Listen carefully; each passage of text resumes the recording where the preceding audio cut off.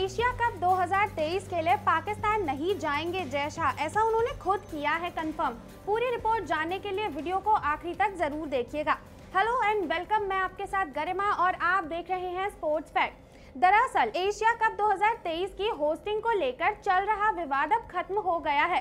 Durban में हुई बैठक के बाद पीसीबी ने हाइब्रिड मॉडल के तहत खेलने पर सहमति जता दी है। इस बीच पाकिस्तानी मीडिया में कुछ ऐसी खबरें छपी, जिनमें कहा गया कि बीसीसीआई सचिव जय शाह एशिया कप 2023 के दौरान पाकिस्तान का दौरा करेंगे। हालाँकि जय शाह ने खुद इस खबर को इनकार किया है। जय शाह ने बताया, मैं किसी भी बात पर सहमत नहीं हूँ। ये गलत तरीके से संचार किया गया है।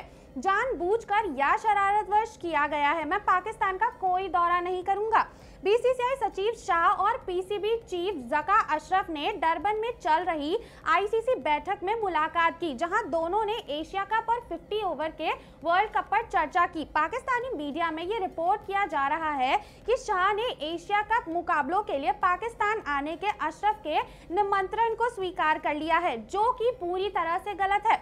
आईसीसी में बीसीसीआई के सीईसी रिप्रेजेंटेटिव अरुण धुमाल ने भी इस बात से इनकार किया है कि शाह या बीसीसीआई से कोई भी पाकिस्तान की यात्रा करेगा।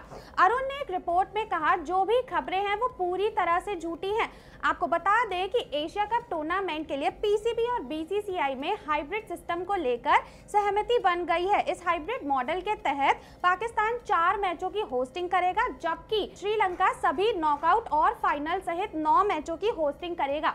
इस व्यवस्था में भी कोई बदलाव नहीं हुआ है। अब आपकी इस पूरी खबर पर क्या राय है, हमें कमेंट सेक्शन में ज़रूर बताएँ।